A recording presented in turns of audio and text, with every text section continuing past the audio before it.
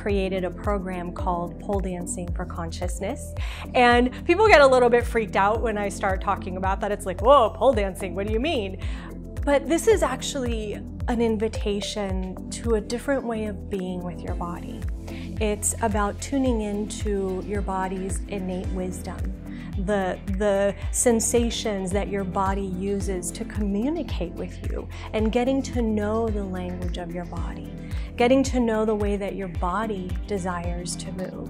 And that then actually translate to the way that you move and be in the world.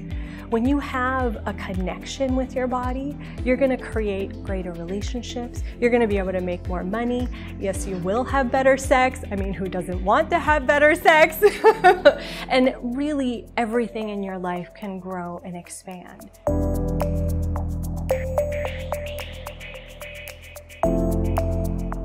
From the beginning, I was getting like every woman should take this class. Every woman should take this class. After I went to that class, everything a lot of things in my life changed. This is finally, I'm starting to feel more in my body and having a joy with the sexualness.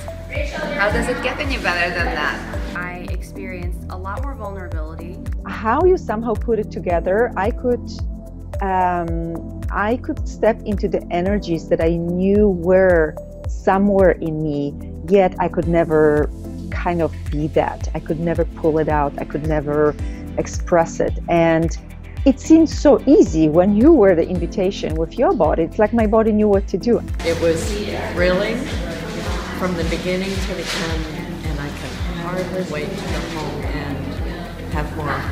It's just been so fun to like watch myself just be happy again and find that like childlike playfulness and that sense of adventure and like just um, actually really being in my body. Patty, I want to say thank you so much.